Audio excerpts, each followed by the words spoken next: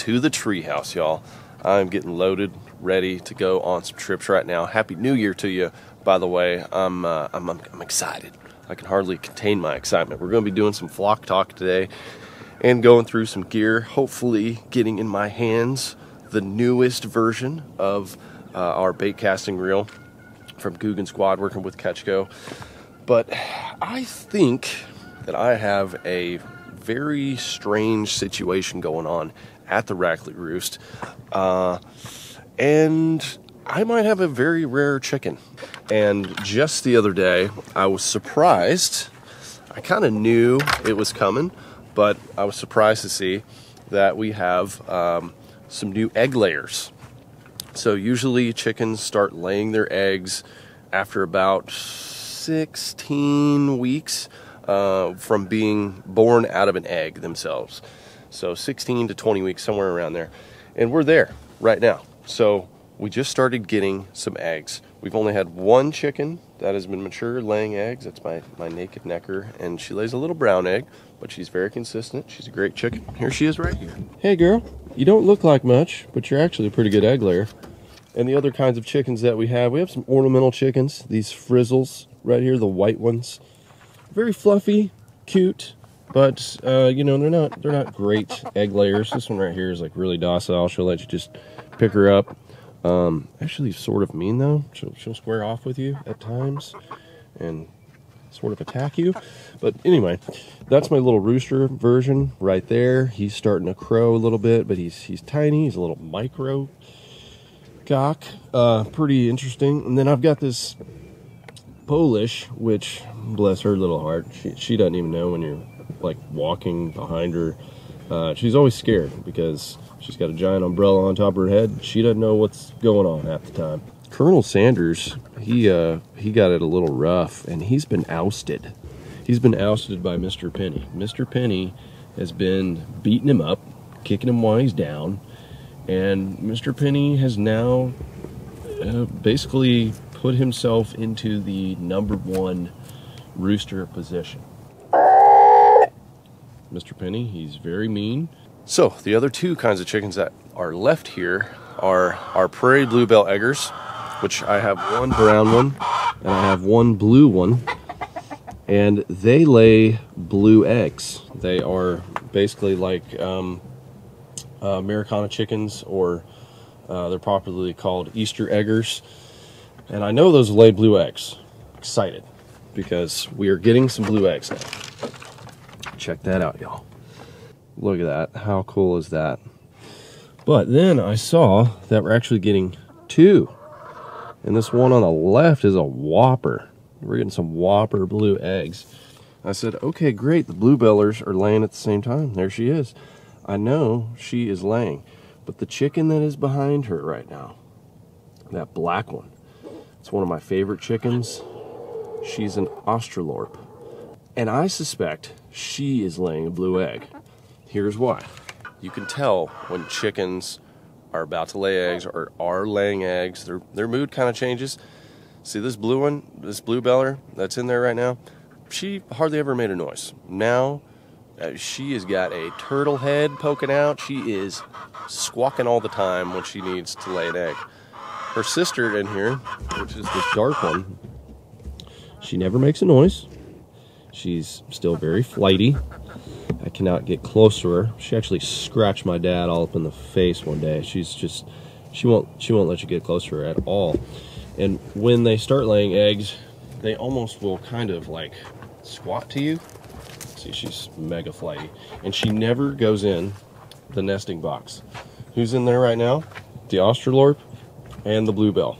Now yesterday, I watched three chickens fighting over one nesting box and it was our naked necker who lays a brown egg. I know her egg exactly. It was the Australorp that was in that nesting box for probably an hour, and then there was the bluebell, which they both were sitting in there for a while. But I never saw the other black bluebell go in there. So we have three chickens that I saw. We have two blue eggs, one brown egg. You may say, why is that weird? All right, chickens, get out of the way. Get out of the way. So you may be saying, why is that weird? Why do you think that's rare? Well, because Australorp chickens aren't supposed to lay blue eggs. I was confused. I had to look this up, and they lay medium sized brown eggs. They're awesome chickens, by the way. If you're looking to get into chickens, I wish I had more of them. So it would be exceptionally rare if I had an Australorp chicken that's supposed to lay brown eggs that's laying a blue egg. Now, either that bluebell chicken is laying two eggs that are blue, and the Australorp is just hanging out in there thinking about laying an egg but actually doesn't, or we have a very rare chicken that's supposed to lay brown eggs that is laying blue eggs. If this is true and word gets out, think about all the chicken breeders that will be coming to me wanting my prize Australorp chicken that's supposed to lay brown eggs that lays blue eggs. I may start a whole nother breeding revolution of big blues. Call them big blues, baby. I'm sure it'll make me rich. So that's why I'm very excited. I've actually got to do a little work on both rigs here today, getting ready for some trips with the camper with the Silver Bullet. So we're going to be hanging out outside here, and when we see that the Australorp is going in there or the Bluebell, we're to monitor. We're to see what is what is coming out of their rears. Okay, girls. Now I'm just to be coming in here. I'm just to leave the one brown egg and just take the blues. Just kind of sneak those out of there. What are you doing? You don't lay eggs. Get out of there. blue. She's getting real defensive of her spot.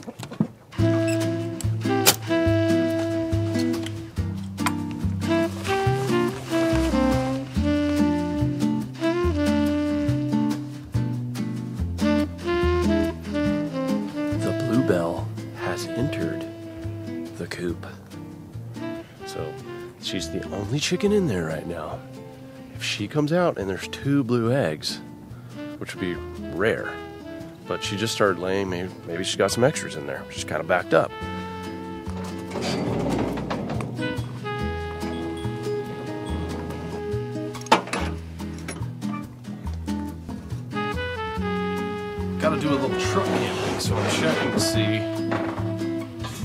Our propane system here is working. I actually haven't broken this out in a while. There she blows. I like using the truck for camping when I've got the boat. Obviously I can't carry both, but this truck bed, having the cap on it, it's basically a mobile camper.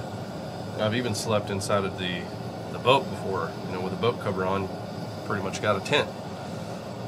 So trying to go as minimalistic as, as possible here. And I usually carry, I carry this box all hunting season and fishing season really in the truck. Eight inch skillet, you never know when you're going to cook up some Crispies. But also just, you know, cooking up all the deer meat, stuff like that I carry with me and then carry the spices and just a couple of on the go freeze dried meals. And my stuff to make coffee and tea, of course. She should have laid an egg by now, so let's go see. I think she's out. I think she's out. She's out.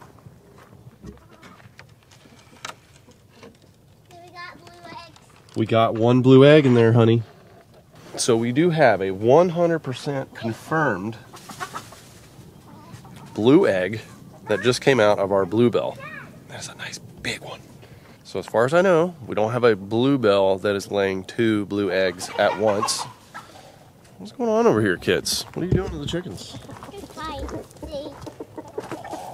Don't throw don't throw their feed right there. Oh, kids. There's my little buddy running. My little buddy running to me. Hey, partner got a jacket on like you're ready to go on, on an adventure. Yeah. Do you see yourself? Do you see it? Do you see it? Do you see yourself? You're vlogging. You're vlogging right now. Yeah. Doing a little vlog with Pop. Uh, he just saw me carrying out some some money bags, so he's He's very interested. What's going on? What is in those bags, Dad? We got a lot of new stuff launching this year, guys. I'm pumped about it. We've got a lot of new plastics that are coming about in February. Probably the most crazy thing we're gonna have coming this year is our our bait casting reel. So one of the biggest complaints that we've had collectively on these reels is the dial placement which creates a, a little node that sticks out the side of the reel just a little too far. I'm talking a couple millimeters, but when you're fishing with a reel all day and you've got just a little uh, bump on the side of that reel, you know, it creates, it can create a hot spot. So it's been kind of a challenge to get in there rearrange how the the brake system's gonna gonna fit in uh, and then be very ergonomical, which is what you want. So hopefully we're gonna see that version of that reel today. Other things that are really exciting, we got the Happy Trailer, small swim baits, we got a lizard, we got a love grub, uh, there's a lot of things happening, and we have new boxes. Redid the boxes uh, with Bass Mafia, where it's a one snapper just totally clear lid on the top so you can see what's in there and then it opens completely all the way. Some of the other ones, they would only open about three quarters and that one big lid, just the whole thing was redesigned and it's, it's all stackable. It's really nice. Kids are climbing up a giant rope right now, so go assist here. You okay, Emmy? You need help getting down? You got it. Okay. Emmy, I need your help solving a mystery. We need to find out what color eggs are coming out of our Australorp over there. Okay, I can check.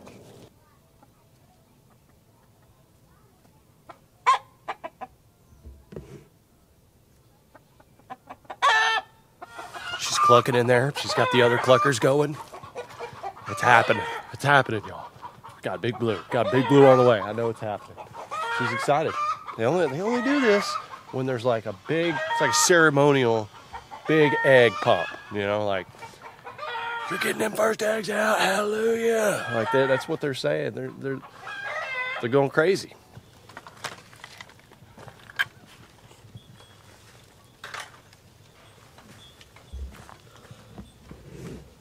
She's out. She's out. Let's see what we got in here. Big moment.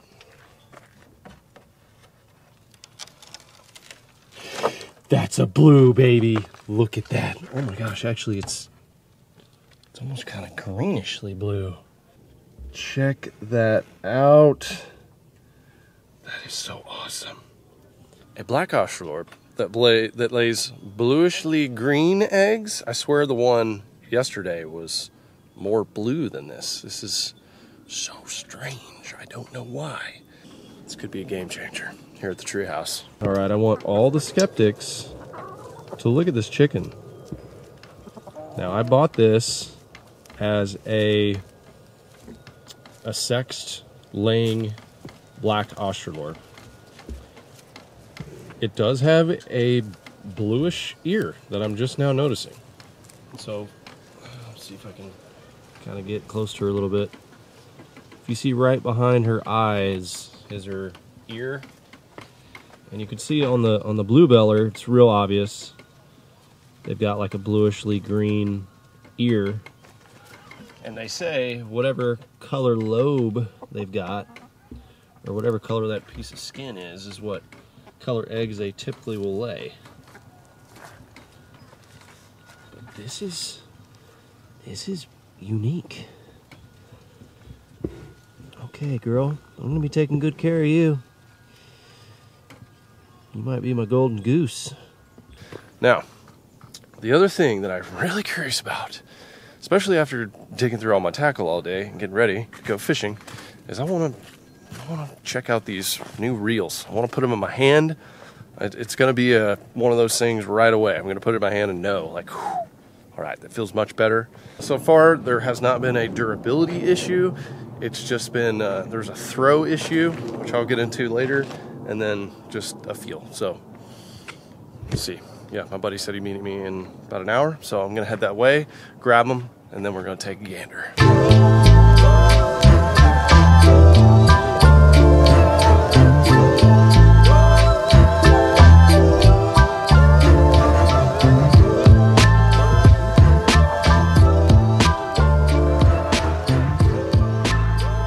Got the goods? Dude.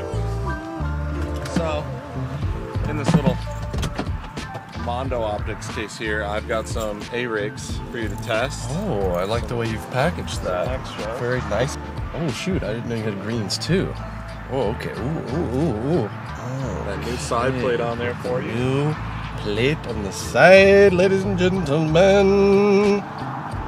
And then uh, Oh man. I know you're gonna go visit John, so you might throw some big things. So I do have a muscle as well. Oh, no kidding. Yeah. So we got a green and gold muscle. Geared up, a little eight to one on those for you. There they are. There they are. Oh man, that is feeling good, dude. Yeah, I got go-tos for both of you. Muscles. Um, there's a one green and one gold, so you can both touch it, and then a reaction green and gold. It feels so much better. Way better.